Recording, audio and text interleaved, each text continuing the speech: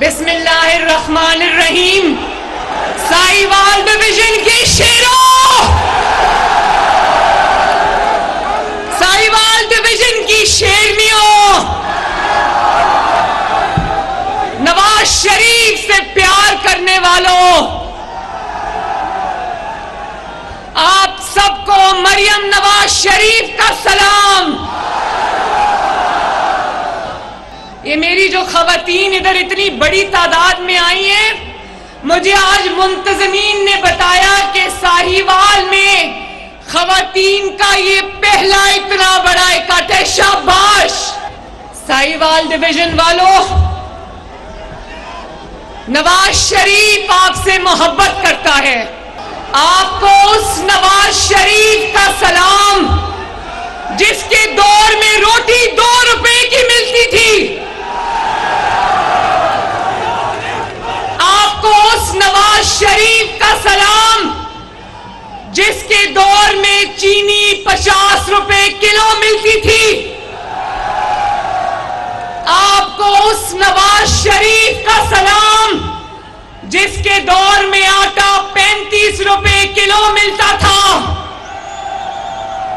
आपको उस नवाज़ शरीफ का सलाम, जिसके दौर में घी 140 रुपए किलो मिला करता था। आपको उस नवाज़ शरीफ का सलाम, जिसके दौर में बिजली 11 रुपए यूनिट हुआ करती थी।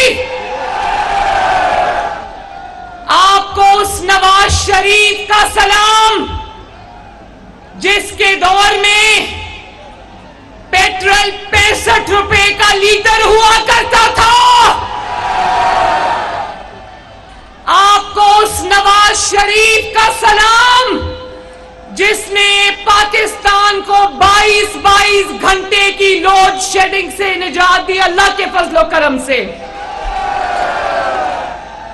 आपको उस नवाज़ शरीफ का सलाम, जिसने पाकिस्तान के कोने कोने से दहशत गर्दी की लानत को खत्म किया। आपको उस नवाज़ शरीफ का सलाम, जिसने आईएमएफ के साथ डील तो किया। लेकिन अवाम के ऊपर महँगाई का बोझ नहीं पड़ने दिया।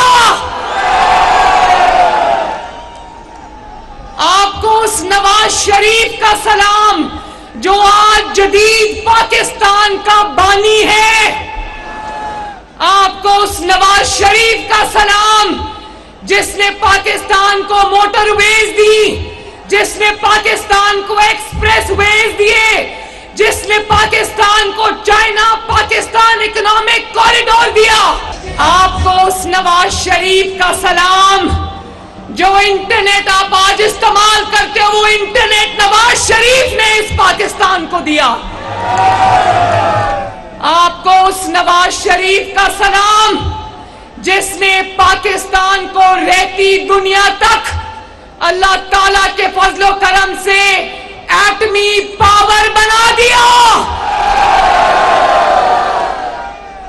आपको उस नवाज़ शरीफ का सलाम, जिसको अल्लाह ताला ने और आपने तीन मर्तबा मुल्क का वज़ीर आज़म बनाया, और जिसने जब वज़ीर आज़म बना तीनों दफ़ा, ये मेरे हाथ की तरफ़ देखना साहिवाल वालों जब नवाज़ शरीफ वज़ीर आज़म बना पाकिस्तान ने यूँ टेक ऑफ़ किया। और आपको उस नवाज़ शरीफ का सलाम, जिसको जब जब हुकूमत से निकाला गया, पाकिस्तान यूँ नीचे गया। नवाज़ शरीफ जब से इस मुल्क से गया है, हुकूमत से निकाला गया है, साहिवाल वालों। ये मुल्क संभलने में नहीं आ रहा। नवाज़ शरीफ और पाकिस्तान इकट्ठे ऊपर जाते हैं। नवाज़ शरीफ और पाकिस्तान इकट्ठे नीचे जाते हैं। नवाज़ शरीफ ने मुल्क को तरक्की के रास्ते पे डाला। फिर क्या हुआ? साहिवाल वालों, बोलो। जैसे चाँद को ग्रहण लगता है ना इसी तरह पाकिस्तान को पैनामा बेंच लग गया। एक बेंच बन गया जिसका नाम था पैनामा बेंच जिसके अंदर बदनाम जमाना पाँच जजेस शामिल थे। जब वो पैनामा बेंच रहा, ना गरीब की रोटी रही और ना पाकिस्तान की इज़्ज़त रही साहिवाल वालों। नवाज़ शरीफ से इंतकाम लेना था, ले लेते। साहिवाल वालों, नवाज़ शरीफ बुरा लगता था ना। पैनामा बेंच को इंतकाम लेना था, ले लेते। गरीब का चूल्हा क्यों बजा दिया? नवाज़ शरीफ के बाद से ना महँगाई संभल रही है, ना मीशत संभल रही है, ना रुपया संभल रहा है। और ना ही पाकिस्तान संभल रहा है। जवाब दो, पैनामा बेंच वालों, जवाब दो। जवाब दो, पैनामा बेंच वालों। जवाब दो, पैनामा बेंच बनाने वाले जनरल रिटायर्ड फैज हमीद जवाब दो। जवाब दो कि नवाज़ शरीफ की दुश्मनी में क्यों पाकिस्तान के साथ इतना बड़ा जुल्म किया? क्यों 22 करोड़ अवाम के, जीती जागती अवाम के मुल्क के साथ इतना बड़ा खिलवाड़ किया? जवाब दो पैनामा वालों, जवाब दो फैज अमीद। बताओ साहिवाल वालों, जवाब मांगते हो ना? आज अगर महँगाई है आज अगर आईएमएफ के हाथों मुल्क गिरवी पड़ा है तो कौन जिम्मेदार है? पैनामा बेंच और वो बेंच को बनाने वाले और बनवाने वाले जिम्मेदार हैं। इमरान, चलो छोड़ो उस घटिया आदमी का नाम क्या लेना।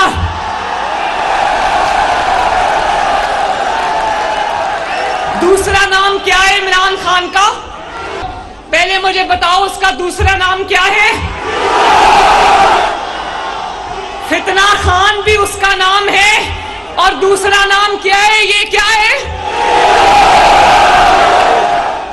वो तो था ही फितना। वो तो ताही चोर। पाकिस्तान का सबसे बड़ा चोर जिसने घड़ियाँ तक नहीं छोड़ी। उसको मैं क्या कहूँ? उसको मैं क्या कहूँ? तकलीफ़ तो मुझे ये है कि उसको लाने वाले जानते थे कि वो तबाही का दूसरा नाम है। उसको लाने वाले जानते थे कि वो ना अहल तरीन इंसान है, ना लायक तरीन इंसान है।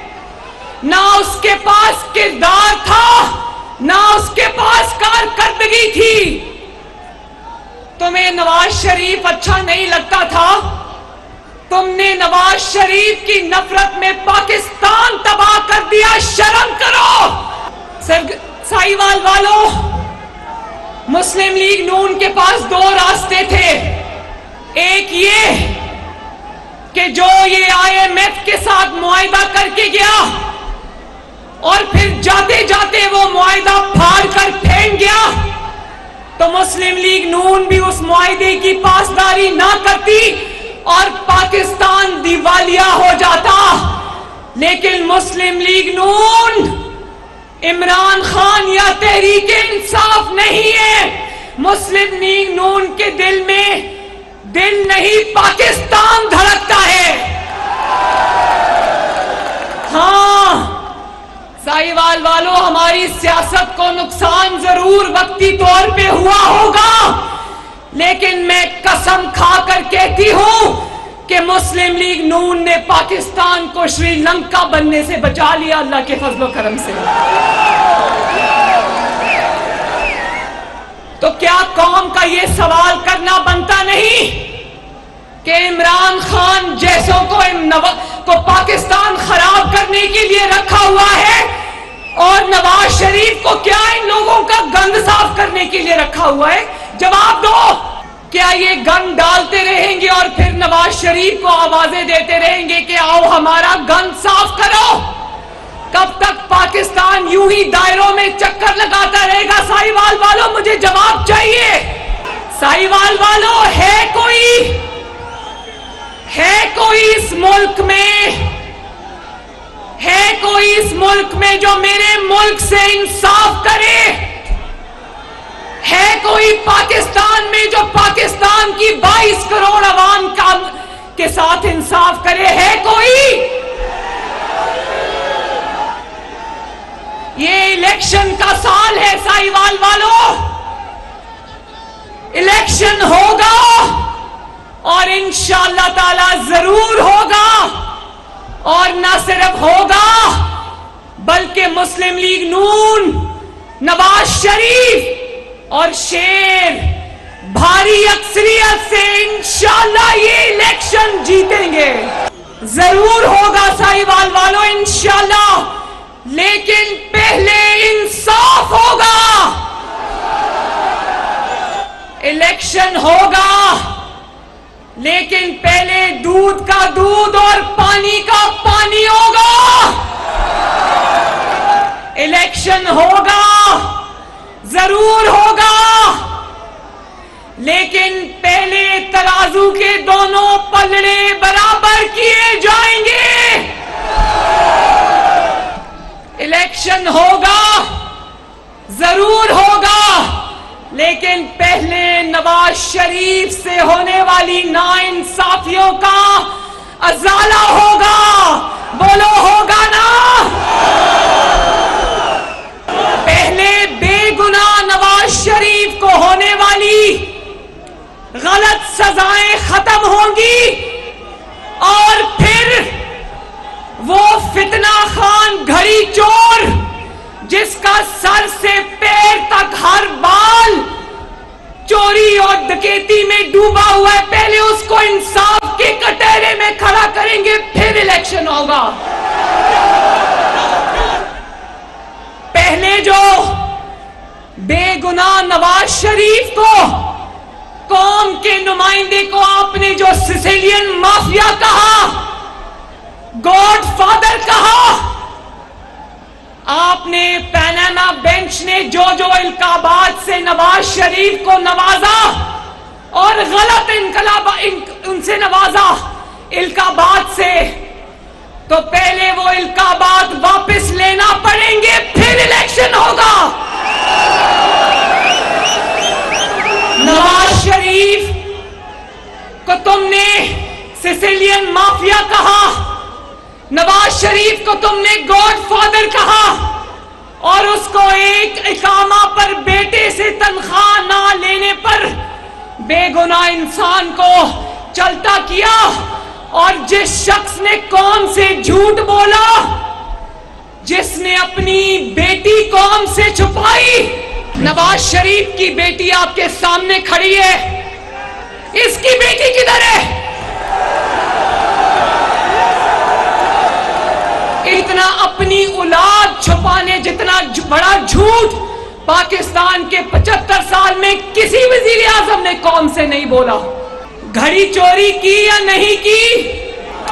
सोचो, नवाज़ शरीफ ने इस तरह घड़ियाँ चोरी करके बेच के अपनी जायदादें बनाई होती तो ये बेंच नवाज़ शरीफ के साथ क्या सलूक कर रहे हो, कर रहे होते? पहले घड़ी चोर को कटहरे में खड़ा करो।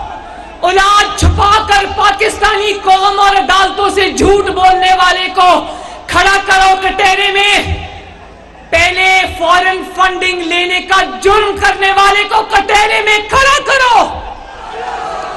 पहले 190 मिलियन पाउंड 55 अरब रुपए अपनी जेब में डालने वाले को कटेरे में खड़ा करो।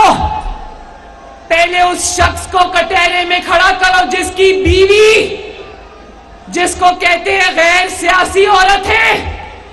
उसने एक एक फ़ाइल पर दस्तखत के बदले पाँच पाँच कैरेट का हीरा रिश्वत में लिया। पहले इनको कटहरे में खड़ा करो, फिर इलेक्शन होगा।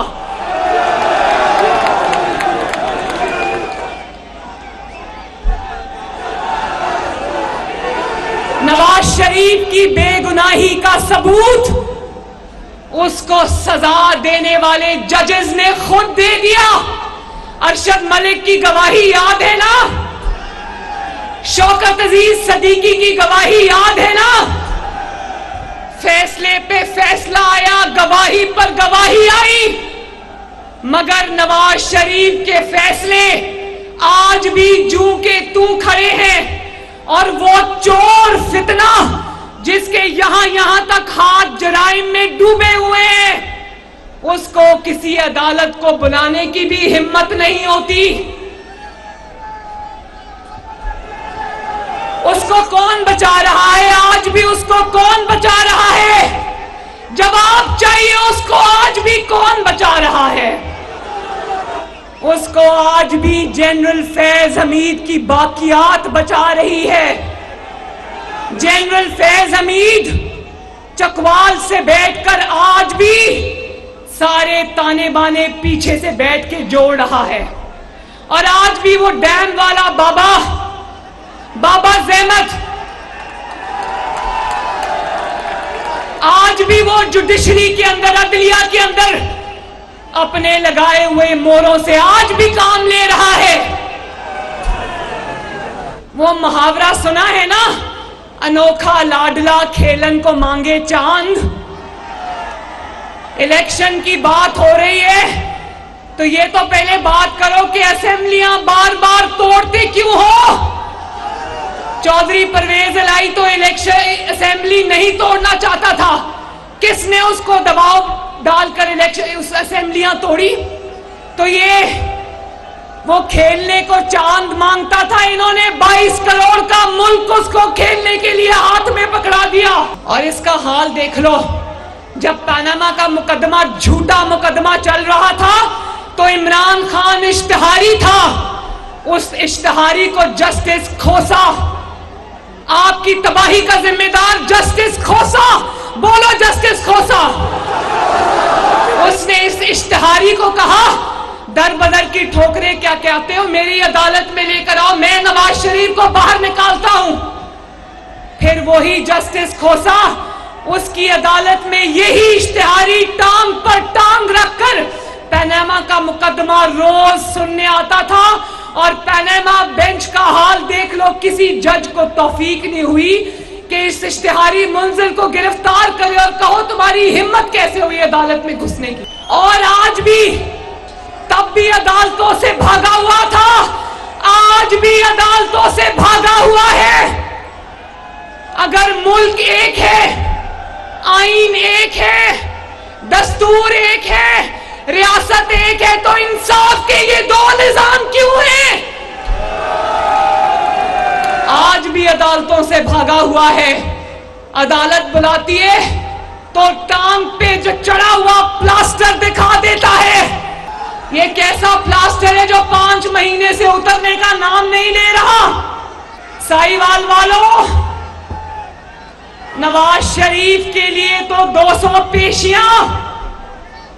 छह दिन हफ़्ते में अदालत लगा करती थी, जब नवाज़ शरीफ के मुकदमे चलते थे तो जो मुकदमे हैं वो खरगोश की रफ्तार से दौड़ते थे।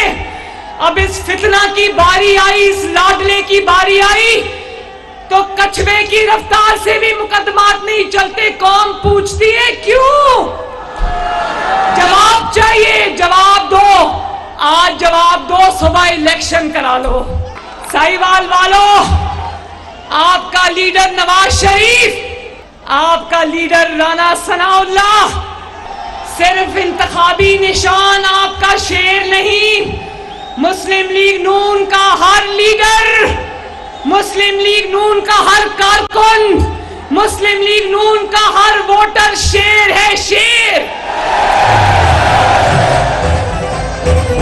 जिस तरह जिस तरह मुस्लिम लीग नून ने, नवाज़ शरीफ ने, लीडरान ने, कारकुनों ने पाँच साल इंतकाम का सामना किया और झुके नहीं, रोए नहीं तस्वे नहीं, बहाए तो मैं आप सब शेरों को सलाम पेश करती हूँ। और इनको चाहिए कि बल्ला छोड़ के अपना इंतखाबी निशान चूहा रख ले। मुस्लिम लीग नून का एक भी बंदा उठाया जाता था ना। नवाज़ शरीफ ने मर्दानावार एक साल जेल काटी, एक साल। बेगुना होते हुए मैंने चार महीने एक बार और चार महीने दो बार जेल काटी। राना सनाउल्ला ने हेरोइन के झूठे मुकदमे में जेल काटी। हमारे कारकुन कुछ आज तक जेल काट रहे हैं। कोई नहीं रोया। किसी ने तस्वीर नहीं बहाए। ये दो दो जिन की जेलें काट के आते हैं और टीवी पर बैठ के रोते हैं। नवाज़ शरीफ ने अपनी मरती हुई बीवी को लंदन में छोड़ के आकर मर्दानावार अपनी बीवी के साथ गिरफ्तारी दी। कारकुनों के आगे ढाल बन के खड़ा हो गया। कहा, पहली कुर्बानी दी है देनी है मैं दूँगा। मेरी बेटी देगी, मेरे कारकुन नहीं देंगे। और ये लीडर देखो, कारकुनों को कहता है, जेलें भरो, जेबें खुद भरता रहे, कारकुनों को कहता है, जेलें भरो।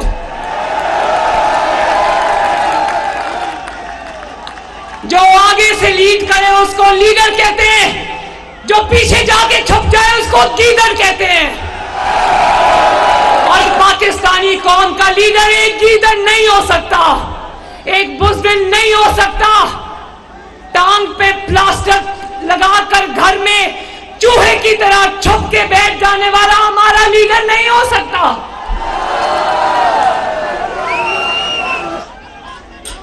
और फिर उस दिन मर मर के पेश हुआ अदालत में तो ऐसा लगा जैसे जमानत लेने नहीं, जमानत देने आया हो। लगा के जजेस को जमानत देने आया है। और आज आज मैं सुबह टीवी में देख रही थी। टीवी में आ रहा था कि इसने कोई दरखास्त दी थी अदालत में कि मेरी मनपसंद जगह पर, मनपसंद अदालत में मेरा केस जो है वो मुंतकिल किया जाए, ट्रांसफ़र किया जाए। तो जज ने कहा, ये नहीं हो सकता। ये कभी पाकिस्तान की पचहत्तर साल की तारीख में कभी नहीं हुआ।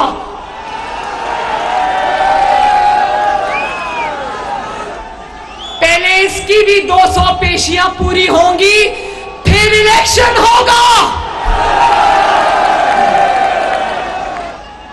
और देखो, अल्लाह ताला के काम देखो, रब्बुल आलमीन के काम देखो। जब ज़मीन के खुदा ना इंसाफी करने लग जाए साहिबाल वालों तो फिर आसमान का निज़ाम हरकत में आता है। आज पूछो कहाँ है जनरल फ़ेज़ आज पूछो कहाँ है जस्टिस खोसा? पूछो कहाँ है जस्टिस साकिब निसार, वो डैम वाला बाबा? पूछो,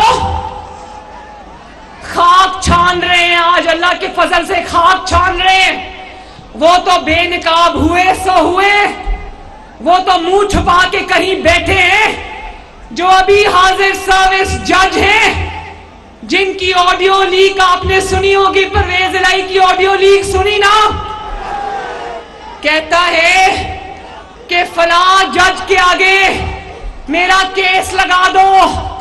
और यास्मीन राशिद, डॉक्टर यास्मीन राशिद कहती है, फ़िक्र ना करो, सुप्रीम कोर्ट में सादे बंदे बैठे हुए ने आज जब इमरान हुकूमत में था तो हमें सुन सुन के कान पक गए कि हाँ जी एजेंसीज कॉले टेप करती हैं एजेंसीज रिकॉर्डिंग करती हैं। उस वक्त हम रिकॉर्डिंग के फजाइल सुन सुन के थक गए, और आज कहता है ऑडियो लीक किसने की टेप किसने की? तो जरा मुँह से ये भी फूटो कि ऑडियो लीक में है क्या? ऑडियो लीक में ये है कि इमरान खान तुमने अपने सहूलतकारों से मिलकर बेंच फिक्सिंग की है। और ये बेंच फिक्सिंग का भांडा पूरी कौम के सामने चौराहे में फूटा है, ये अल्लाह के काम है।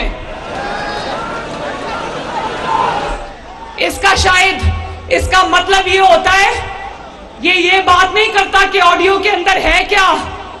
ये शायद ये कहता है कि मैं स्याह करूँ, सफ़ेद करूँ, साजिश करूँ, मैं पीछे से बैठ के डोरिया हिलाऊं। है तो अबद का साजिशी ना? हमेशा से साजिश ही है, मोहरा है। इसका यह है कि मैं जो भी कहूँ, लेकिन मेरी कोई चीज़ बाहर नहीं आनी चाहिए। तो इमरान खान साहब, जरा आँखें खोल के देखो। तुम्हारी आँखें खोल के देखो। जिन्होंने तुम्हें कंधे पर बिठाया हुआ था ना, वो एस्टैब्लिशमेंट घर को जा चुकी। वो अल्लाह ताला को प्यारी हो गई। और जिस, जिन जजेस के कंधे पे तुम अब चढ़ के आने की तैयारी करोगे ना, वो कंधे नहीं रहेंगे, इंशाल्लाह। ऑडियो में जो साजिश की है ना उस पे सुमन बुकमन है, उस पे एक लफ्ज नहीं बोला। यानी कि वो साजिश सच्ची है। तुम बेफैज हो चुके और इंशाल्लाह बेफैज ही रहोगे। कुरान में लिखा है, साहिवाल वालों, कुरान पाक में लिखा है कि लोगों के दरमियान हक और इंसाफ करो। अदालतों के माथे पर बड़ी खूबसूरती से लिखा है कि अदल करो, पहले अदल होगा, फिर इलेक्शन होगा। वोट को इज़्ज़त मिलेगी। वोट को इज़्ज़त मिलेगी। वोट को इंसाफ मिलेगा, फिर इलेक्शन होगा। और आखिर में मुस्लिम लीग नून मैदान में उतर गई है। मुस्लिम लीग नून इलेक्शन की तैयारी कर रही है, बोलो शेरों कर रहे हो ना तैयारी? मुस्लिम लीग नून इलेक्शन से नहीं डरती। आज इंसाफ कर दो। कल सुबह इस मुल्क में इलेक्शन करा दो, हमें कोई खतरा नहीं। लेकिन पहले अदल होगा। हाथ उठाओ, पहले अदल होगा। इंसाफ होगा। नवाज़ शरीफ के लिए जो मैार कायम किए थे, वही इमरान खान के लिए मैार होगा। तो इनशाला इलेक्शन होगा और इलेक्शन शेर जीतेगा। अल्लाह ताला आपका हामियों नासिर हो। साहिबाल जिंदाबाद। शहबाज शरीफ जिंदाबाद। नवाज़ शरीफ। और आखिर में पाकिस्तान का नारा लगा दो। पाकिस्तान!